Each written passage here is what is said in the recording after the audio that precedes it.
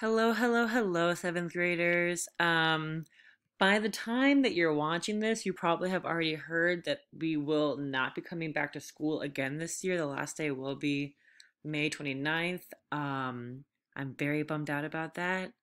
I really, I really do miss you guys and seeing you in the classroom a lot. Um, but I'm getting some joy from doing these read alouds, so I'm gonna keep doing them. Um, you also will probably have noticed now that this packet is being created by both me and Miss Demond. So rather than having four packets a week, you will have three packets a week, and me and Miss Demond are bringing our two units together to work on this. So this is the first article.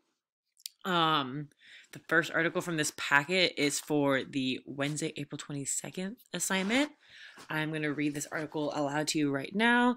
This article I pulled it off Newsela and it's titled Governments, Monarchy, Oligarchy, Aristocracy, and the Rule of Law. The rules in a monarchy type of government are pretty clear.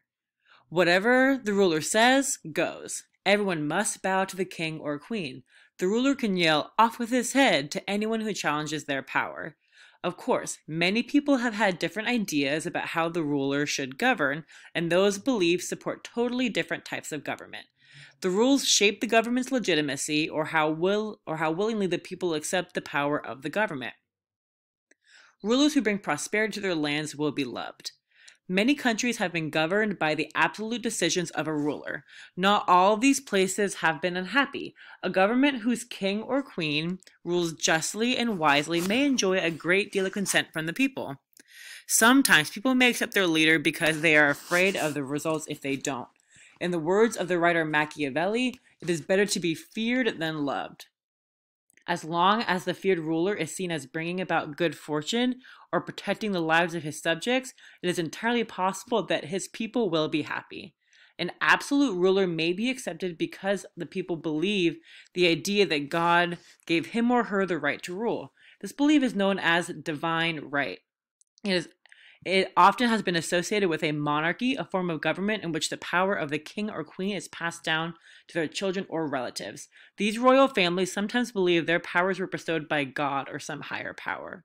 Some Chinese emperors ruled by divine right. However, the emperor's rule was threatened if his people perceived that he had lost the mandate of heaven or approval of a higher power. Some rulers achieve power through wealth. There's another type of rule by man, the oligarchy. This is a form of government ruled by a few elites whose right to rule is based on possession of wealth, special rank, military position, or achievement. Similar to an oligarchy is the aristocracy, which means the rule of the highest. In the aristocracy, there are more rulers than an oligarchy, but this group is still small and dominated by wealthy and powerful people. Essentially, if a government is ruled by man, the people must accept any and all decisions that are made from above. The subjects or people being ruled have little have little to no say in any government decisions.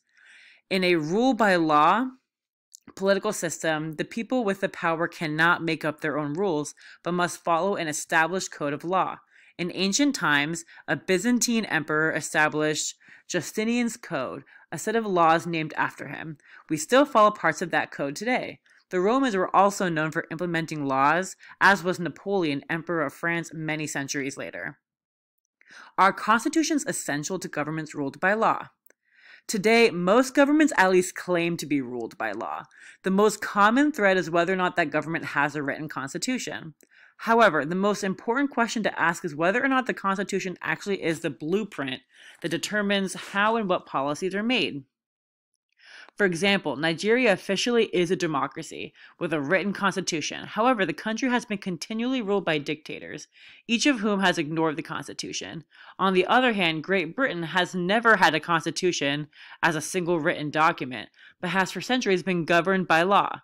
For much of their history, the English had a limited monarchy, that is, each king or queen must follow a rule of law. So, whether a king can order off with his head depends on the type of government that is accepted by his country.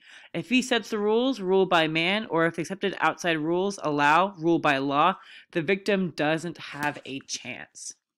That was a very brief overview of different kinds of governance, specifically ones that there is kind of a centralized power at the top. You may have noticed that none of the ones that were really talked about here is what the US has. Um, we have something closer to like a parliamentary system. Um, we don't really have like one one kind of body at the top. We specifically have the judiciary and Congress to kind of balance that out. So this is a little bit different than what we see in the United States. Um, we have a few questions here to answer.